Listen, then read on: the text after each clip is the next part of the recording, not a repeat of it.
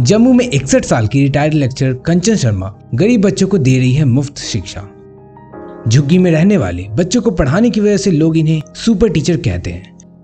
यह super teacher 2009 से वंचित बच्चों को पढ़ा रही है। हर हफ़्ते वह संघर्ष विद्या केंद्र नाम की अपने अस्थायी ओपन स्कूल में दो घंटे की क्लास लेती है। शिक्षकों के वेतन, स्टेशनरी और यूनिफॉर्म जैसी खर्चे वह खुद उठाती हैं। वर्तमान में स्कूल में सौ से अधिक बच्चे पढ़ते हैं। अब तक शर्मा को जम्मू में गुर्जर चैरिटेबल ट्रस्ट द्वारा वेमेन ऑफ़ स्टील पुरस्कार सहित कई बार सम्मानित किया जा चुका है।